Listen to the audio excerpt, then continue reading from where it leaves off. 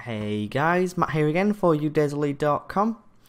What I'm going to show you in this video is how you can create the Slider Pro from scratch without having to clone any of the sample widgets. However, I do recommend you go ahead and clone the sample to get started and copy and paste and then customize from there as it is far more efficient and quicker to get you started with inside of your project. What we're going to do is show you how you can create something similar to this from scratch using the custom attributes and script that Udesly provide. There's a number of use cases to this professional slider. One of them being is it works tremendously well with keyboard and mouse and you can customize every single bit of the element to match your brand.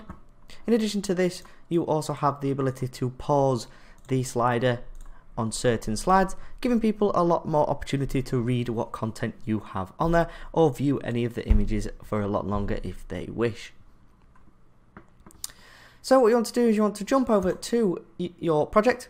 As you can see, I have a slider created here, which has two slides with just images on, and then I've got my content underneath. This is a project that I have cloned from the Webflow template store. However, you can go ahead and use any of the templates that are on there or you can go ahead and use your already existing project. What we need to do first is we need to put this inside of a wrapper. So as you can see I've got it inside of a wrapper here. And we need to apply a custom attribute of udesly hyphen slider hyphen pro equals true. So go ahead and go to that, go to settings and apply an attribute. Paste that in there and then type in the value of true. We don't need to give any attributes to our Webflow slider, our native one that we have here.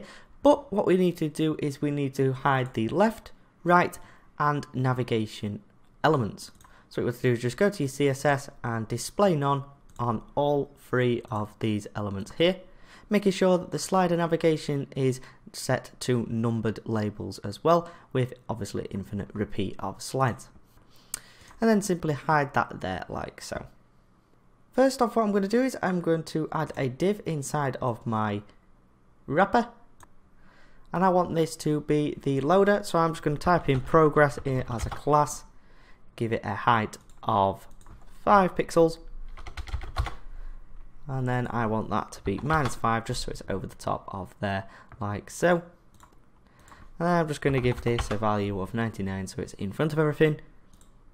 And I want this colour to be the color of my brand. So I'm going to make it brown. And then what we need to do is we need to apply the attribute. So as you can see with the documentation, all of our elements for our slider is listed in the documentation and it is simply an attribute of slider with the element name. So if we scroll down here and find the one for our progress bar, you can see the progress bar is simply slider equals progress. I'm just going to copy one of them make sure I'm selected on my progress bar and go to the custom attributes, type in slider equals and then paste in our progress. So there you go, that's our progress bar done. And we can go ahead and create all of the custom elements like so. So what I'm going to do is I'm just going to quickly do that now and I'll show you how you can apply the attributes to each one. As you can see here, I've created my slider with our previous, next button, play, pause, our counter with three individual text blocks inside it, one for the current slide, one for the separator, and one for our total slide count. And we also have our indicator down here. For the indicator, what you need to do is you need to create your indicator div block, and you need to create a combo class of active, like so. Simply paste that on there, and then you need to go ahead and change this style and then simply remove that combo class like so and then and then just leave it inside of Webflow like that. What this will do is the script will use that combo class for the active slide to change the style of your active indicator. So now we get on to the interesting bit of adding all of the custom attributes to our elements. So for our indicator, it, we need to copy this attribute here go onto that indicator there and go to the custom attribute, type in slider and paste in indicator. For our previous button, it is slider. And again, you can paste in the attribute, but it is previous hyphen slide, like so. For the next button, it is exactly the same. It is slider equals next slide. For our play button, it is slider equals play. And our pause button is slider equal pause. And for our slider navigation, we have got to apply the attribute for the current and the total count. So for our current, for our total slides number, it is slider equals slides number. So go on to that, click on the total, add an attribute of slider and paste in the attribute there like so. If we go to the documentation and copy the current slide number, go into our Webflow project and go onto our text block there and add an attribute of slider equals current slide number and paste that inside of there. And of course we've already applied the attribute for our progress bar there. So now what we need to do is we need to add our script into our page. Simply go over to the documentation and copy this script here. Go to our Webflow project, go to our page settings, scroll all the way down and paste it inside of the body area there. Save that, hit publish. As you can see we've got our slider here which pauses when our mouse is inside of the area and if I move my mouse outside you can see the pause button comes about and our slide resumes and we've got our custom counter in the bottom right as well as our next and previous buttons there as well with the option to pause our slider as well like that. We also have our indicators there which we can click into.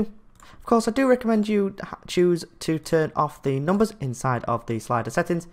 If you go back into Webflow and click on your slider and go into the settings at the top you can turn the number labels off there. Another pro tip I recommend you having is go over to any of your elements that you've created that are clickable, scroll down onto the style and just change the cursor to the pointer there like so just to indicate to the user that these options are clickable. And as you can see we now have our pointer visible on all of our elements. If you want to customize whether the pause on hover is enabled and keyboard is enabled for example, what you need to do is go to the documentation and copy this script here. Go to your page on Webflow and edit the page settings. Scroll all the way down to the bottom and paste just before the script and here you can change this to false so pause and hover is on false and turn keyboard control off by going to false on that one as well hit save and if we publish this page like so you can see before we have keyboard control for left and right and we also have the slide that pauses when our mouse is inside of the viewport and if we simply refresh this page you can see that we can play it but our mouse no longer pauses the slider whilst it's inside and we cannot go left and right with our keyboard. So there you go, that is how you can create a nice custom bespoke slider that matches your brand inside of Webflow using the Slider Pro widget that Udesly offers. Now remember we do have a multiple variants of this that you can go ahead and clone including a smaller version and some other custom elements on top and as all of the elements are independent inside of Webflow, you can go ahead and customize this to your heart's content so you can have a progress bar that covers the whole screen if you so wish. If you need any help or support, we do have our help center and we'll happily help with any of your technical support questions that you may or may not have with any of our products. And of course, we do have our Facebook community group where I am extremely active on there, and I do try my best to reply to as many of you as possible to help with any of your questions or just give general design inspiration, tips, and tricks, etc. Anyway, my name has been Matt. I hope you got all the best from this video tutorial, and I will catch you guys in the next video.